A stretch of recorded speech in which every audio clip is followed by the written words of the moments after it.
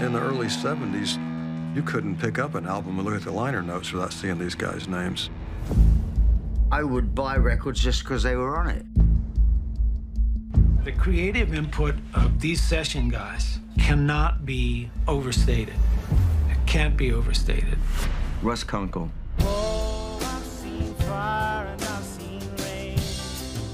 Danny Kortchmar.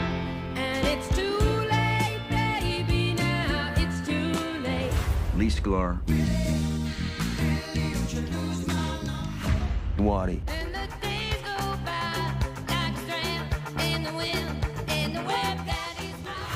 They were just musicians we knew, and they gradually became legendary session musicians. My main goal was to not get fired.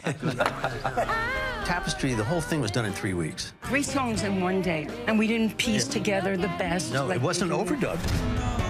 Look, we were all in our 20s. Now, there was no sleeping. Each album became like a, what's the next thing they're gonna do? Not only did they give birth to this music, they're as much the author of these songs as the artist they did it with. Ego goes out the window. Well, I'm not sure that's true. I have a huge ego. as Well, I could get hipper, younger people. In, in this hotel. But these are the people that play it best. All I can express is admiration for these guys. Four truly great players, all of them masters of their instrument. In hindsight, I was just happy to be there. I've got a band full of brothers that love me. I'm proud of all of it.